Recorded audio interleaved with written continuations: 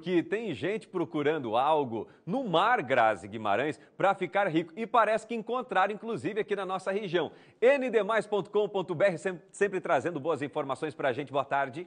Boa tarde, Caleb. Boa tarde a todos que acompanham o BG. Olha, mais um candidato a milionário aqui no litoral norte de Santa Catarina, depois de encontrar, de achar que encontrou uma pedra preciosa, que é o ambar cinza, conhecido também como vômito de baleia. Essa substância é valiosa porque vem da baleia cachalote e é usada em algumas perfumarias finas em alguns países do mundo.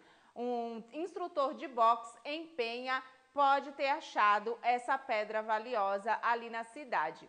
Ele acompanhou algumas reportagens do ND+, que fala sobre o valor da do ambar cinza, que já deixou algumas pessoas milionárias na Tailândia e agora encaminhou a pedra para o Museu Oceanográfico da Univale para saber se ele vai ficar milionário ou não. No nosso portal ndmais.com.br tem os detalhes dessa nova descoberta e também a cobertura completa do que fazer se você achou que encontrou o ambar cinza. Acesse pelo QR Code que aparece aí na tela. Vou dar uma passeada na praia para ver se eu encontro. Caleb, volto e, contigo no estúdio. É, e eu também, até porque sábado eu trabalho aqui na NDTV, tenho que fazer reportagem, eu e o Matheus Nunes, e aí, sabe o que você faz? Me ajuda, Grazi. Pede para a produção marcar justamente numa praia. E daí nós vamos dar já, já uma bisolhada, vamos dar uma olhadinha para ver se a gente vai que a gente encontra, Grazi, hein? O que, que você acha? Tá bom, eu topo, apoio.